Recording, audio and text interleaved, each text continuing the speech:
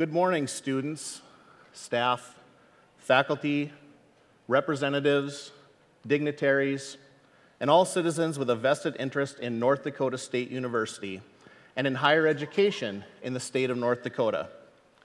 Greetings also to those viewing the live stream from the Experiment Station and Extension Centers, and to those of you who are unable to attend or watch live and will be viewing the recording of this address at a future date. It is my pleasure to welcome you to the annual State of the University address. Before we go any further, I have two quick announcements. First, I would ask that you please silence or turn off your cell phones. Second, I would like to remind everyone that a recording of this address, including captions, will be available via the NDSU website after Monday of next week. My name is Stuart Herring, and I am the Faculty Senate President at NDSU for the 2017 2018 academic year. I am also a native North Dakotan who matriculated not only through the North Dakota K 12 system, but also through the North Dakota higher education system as an undergraduate student.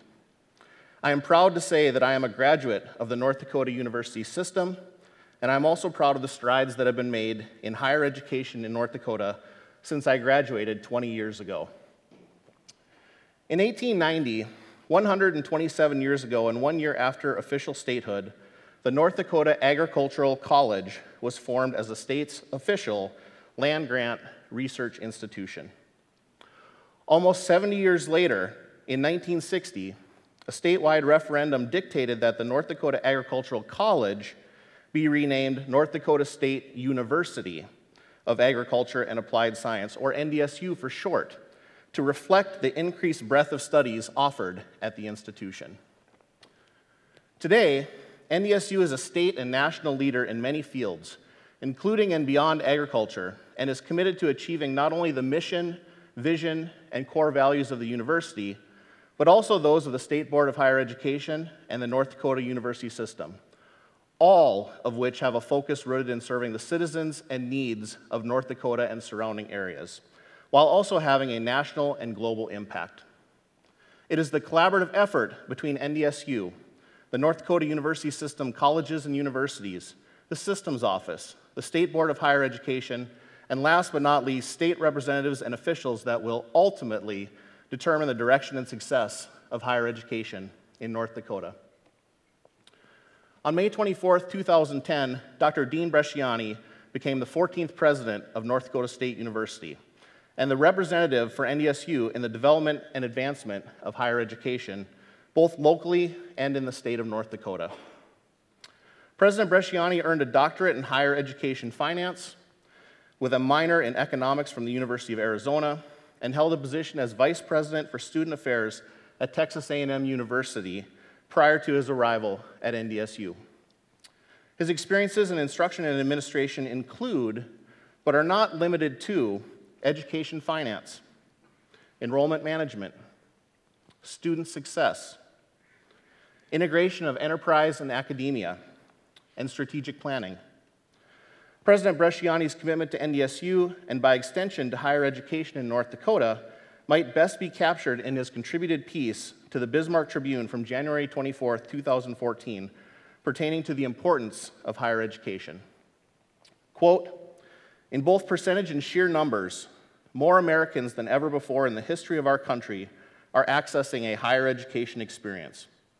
It remains an inarguably commendable individual and societal economic investment, and is why employers, more than ever before, use higher education as an entry standard for most careers, whether they are in agriculture, trades, or professions. A surprisingly varied number of educational paths and disciplines can lead to success in those diverse fields. End quote. As a product of higher education in this state, and as a native and current citizen of North Dakota, I have a vested interest in the training and success of the graduates that NDSU produces, many of which are fellow North Dakotans and Minnesotans that will ultimately contribute to the innovation produced and economic growth within these states. NDSU is a student focused land grant research university that provides educational and training opportunities that are taken for granted in many states yet are at a premium in North Dakota. This is one of the reasons why students choose North Dakota State University to pursue their education. Today, we will hear how North Dakota State University contributes to and will continue to contribute to not only the success of our students, but also the success of our state. Please join me in welcoming President Dean Bresciani to present the State of the University address.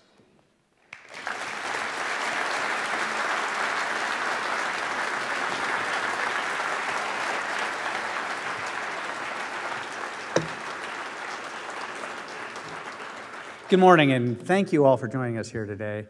And good morning again to our seven outstate research extension centers, the Oakes Irrigation Research Site, the Agronomy Seed Farm in Casselton, and the Extension Service offices in every county of North Dakota who are joining us by video. It's once again my great privilege to bring you the state of the university. NDSU is a very special place thanks to your hard work and commitment. Your resolve in the face of extreme difficulties this past year is a strong demonstration of how important it is to share a unity of purpose that sees us through the good times and the bad times. In meeting last year's biennial budget cut, many of our colleagues chose to retire, many positions were eliminated, and many other positions have been left unfilled. In other words, over 149 faculty and staff are no longer with us. Many of you participated in budget study groups that identified the principles by which we would address the reductions, and all of you have shown admirable resolve as we work through our new reality. It's important to recognize that few institutions could weather a 17% budget cut in one fell swoop as thoughtfully and creatively as we have. I've said it many times before, and it bears repeating today. The people of NDSU are not just resilient, but are more adaptive than any I've ever known. If you're like me, you'd have trouble imagining a university community of 18,000 people that is as nimble as we have been over the past few months. We've always challenged ourselves to continue to be better, to educate our students more effectively, to serve our citizens more meaningfully, and to tackle the world's problems more intelligently that's built in the nature of people drawn to serve in higher education as their life work. Question, test, challenge, achieve, and start that all over again in a continuous cycle of improvement. That trait is particularly prevalent in the people of North Dakota State University. We also weather downtimes because we know who we are. We know what our strengths are. We know what our potentials are. We're good at what we do. We know where we fit in the higher education ecosystem. We have a strong niche as a challenging research university with PhD tenure track faculty who work with full time students who seek this type of environment. Our strong foundation as a student focused land grant research university allows us to more quickly rebuild. Before we go any further, I want to say to the faculty and staff who remain focused on our vision during this time, thank you. Thank you for your talent and dedication and for your commitment to NDSU. And to the many faculty and staff who have joined our collaborative process during the past year, thank you. You developed thoughtful and useful guidelines as we manage the necessary changes with emphasis on continuing to seek and achieve excellence. You know how vital your work is. You see it every day that NDSU is a place that gives students and the citizens we serve opportunity like no other. And you know that going forward, we'll have to make our way through some rough patches, but we'll continue to be a student focused land grant research university that our students and citizens rely on. No budget cut will eliminate our commitment to access, affordability, and quality education. We continue to bring education and discovery to the people of North Dakota, and our researchers will be supported as they pursue solutions to the problems in engineering, health, science, technology, agriculture, and the betterment of society. All of your voices are crucial for advocating the contributions of NDSU. Let us not lose sight of the truly amazing work here and the talent and commitment and the synergy created when scholars, researchers, and educators inspire the next generation of problem solvers. One powerful example of our caliber is that among our faculty, we have seven research grants known as R01 grants, one of the National Institute of Health's most competitive grants in the nation. Seven is an impressive number, especially for an institution that doesn't have a medical school. Scientists from the nation's most renowned university pro- and programs apply for R01 grants, and competition for funding related to oncology research is particularly rigorous. For one example, our Dr. Kristine Steffen in our College of Health Professions just received a $3.7 million award for a, study that examines how biological and behavioral factors interact in determining the success of bariatric surgery. Her research team includes scientists from the University of North Carolina, Chapel Hill, Kent State University, Brown University, Case Western Reserve, the Neuropsychiatric Research Institute of Fargo, and Sanford's Eating Disorders and Weight Management Center.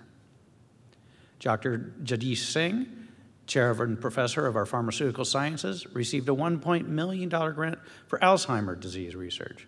The goal of the research is to develop a new delivery system that uses neurotrophic growth factor to treat and prevent Alzheimer's disease. Dr. Sanku Mallik and Dr. Bengao in pharmaceutical sciences received a 1.2 million grant. They're studying ways of using tiny polymer spears to deliver anti-cancer drugs to prostate cancers.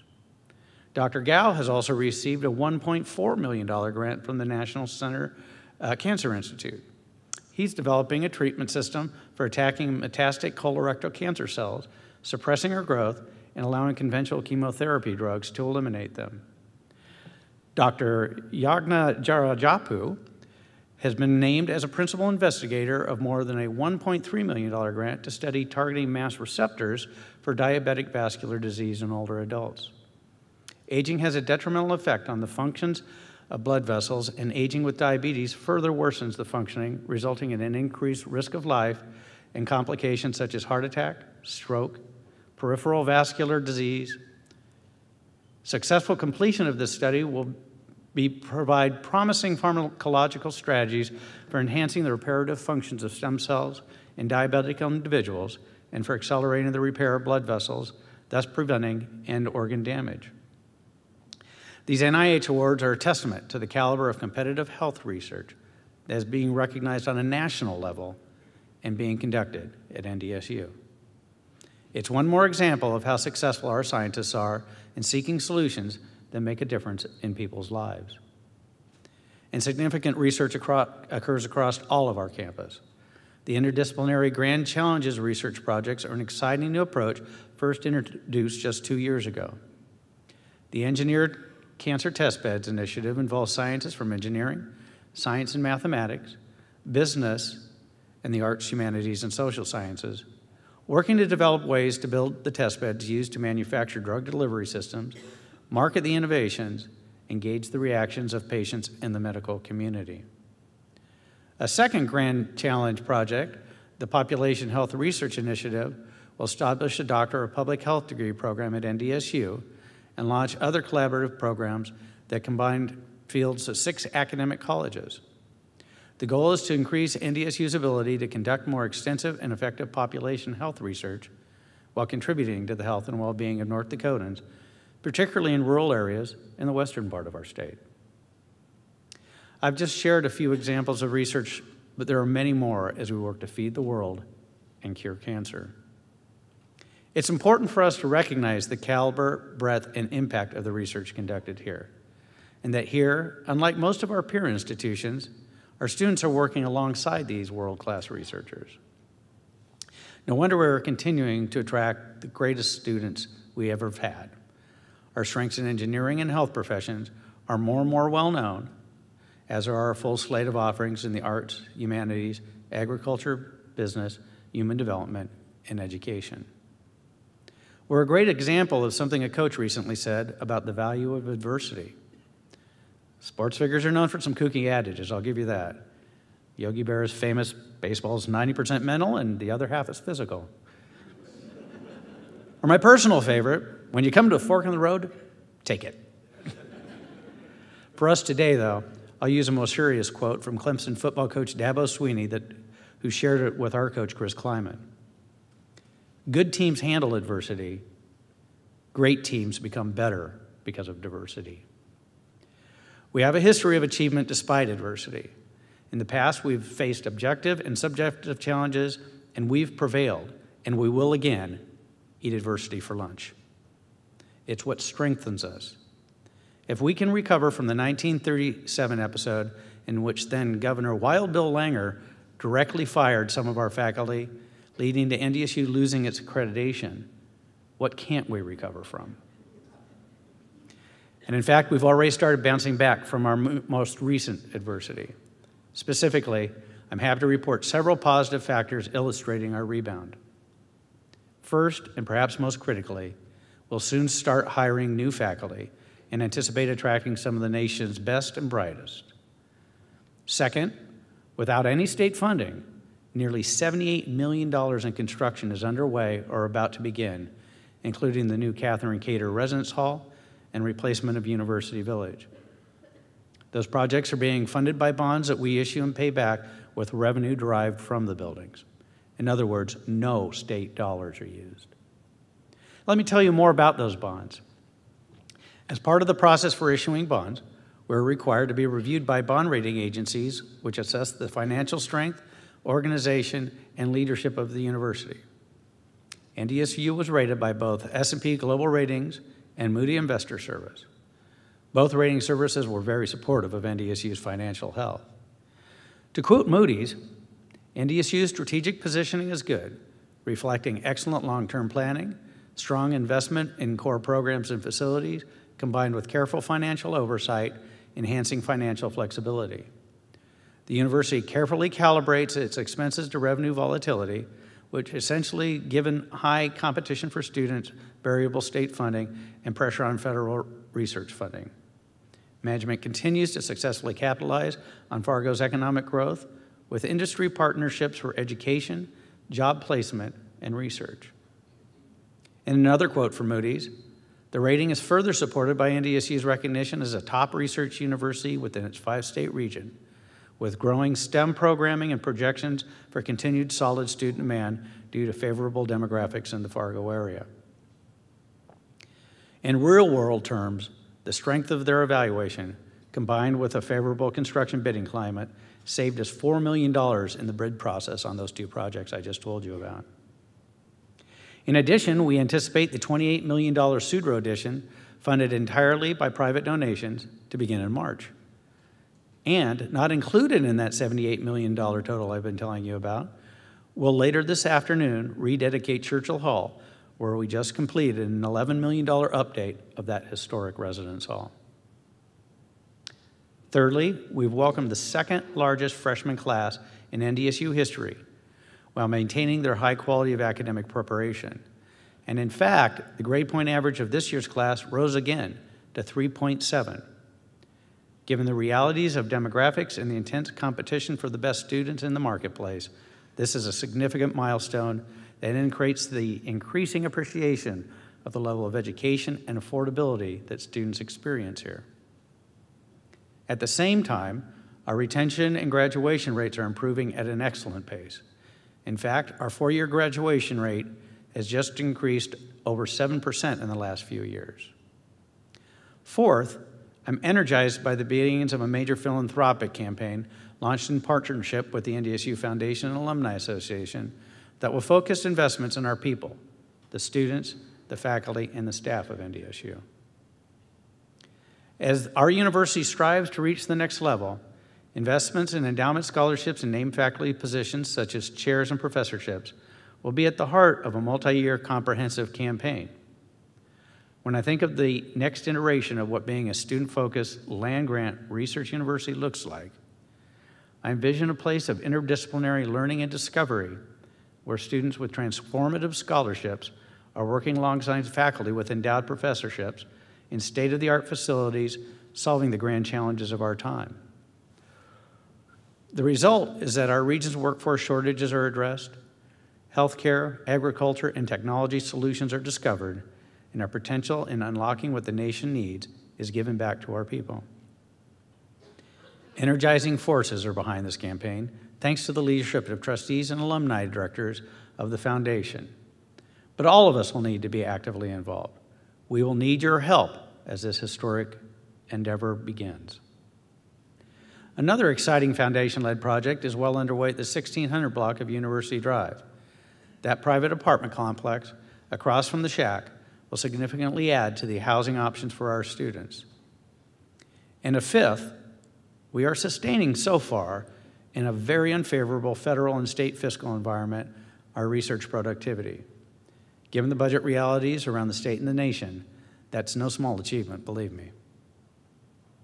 I thought you'd also be interested in a few examples of student achievement, and I've narrowed my focus to our track and field students, who don't get as much of attention as our other sports, but are some of our very best examples of student athlete success.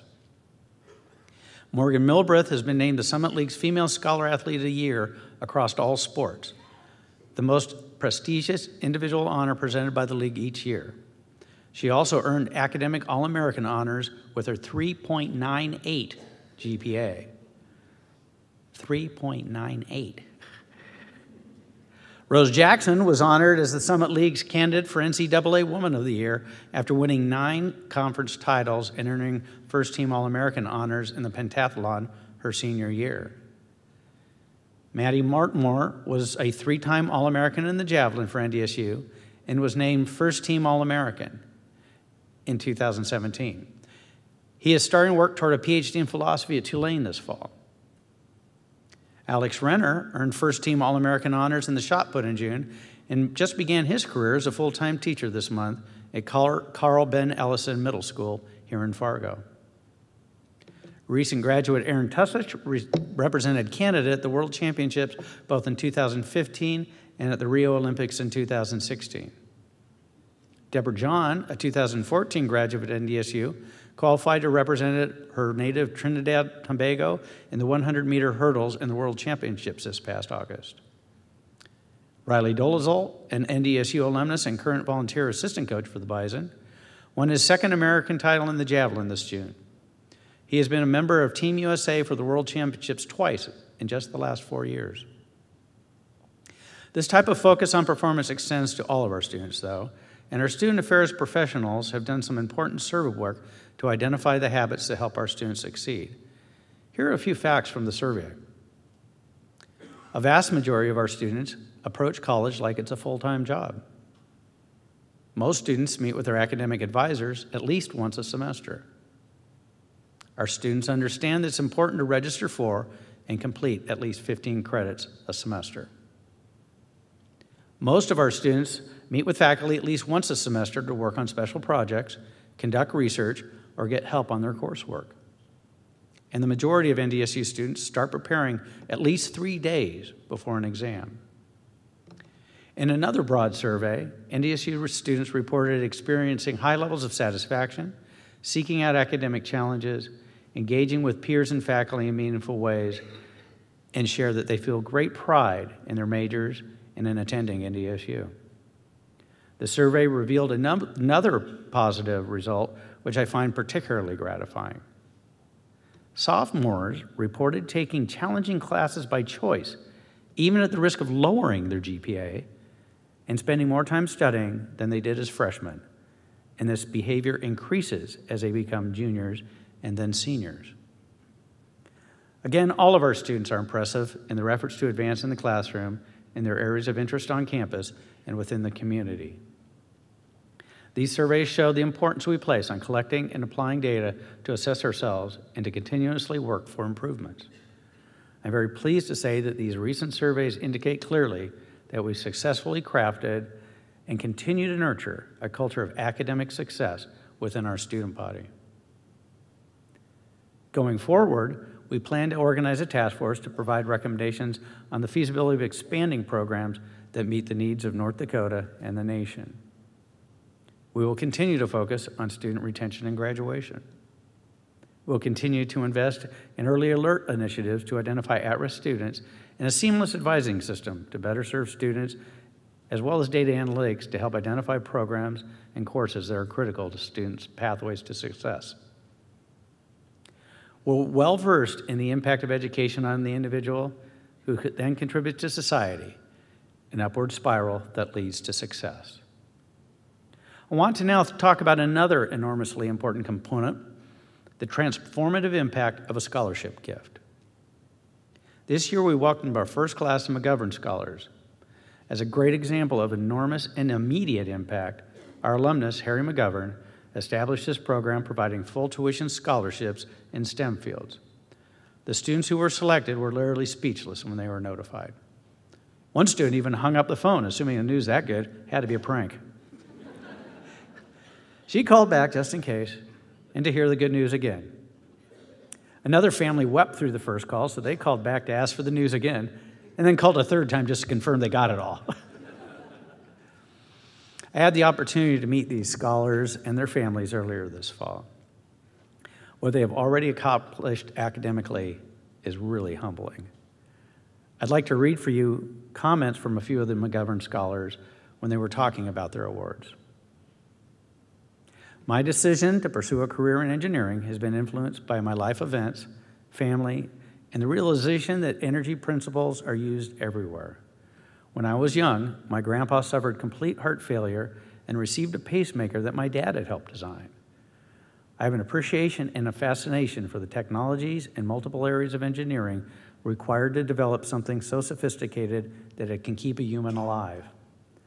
This personal connection helped me understand firsthand the importance of engineering to society.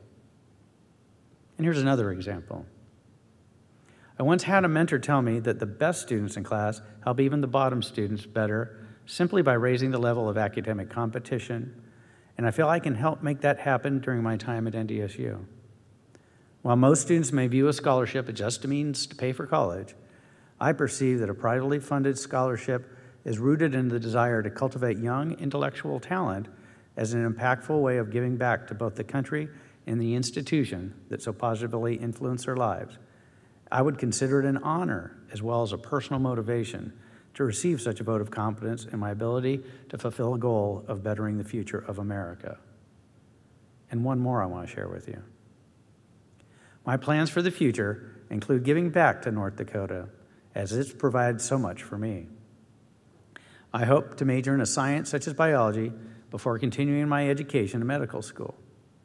After medical school, I plan on specializing in psychiatry, my lifelong dream. After finishing my boards in psychiatry, I plan on practicing in the great state of North Dakota. North Dakota is in need of healthcare professionals, especially in rural areas such as the areas I'm from. North Dakota, a major farming capital of the nation and the world, needs the professionals to service the many farmers in rural areas, as we are dependent on them to feed the world. I look forward to being that link to our state, the link that makes a difference in people's lives. Throughout this address, my guess is you've come to appreciate why I'm so proud of our faculty, our staff, and our students. As I said at the outlet, it's truly a privilege to be a part of North Dakota State University. Our work enriches everyone around us. Thank you.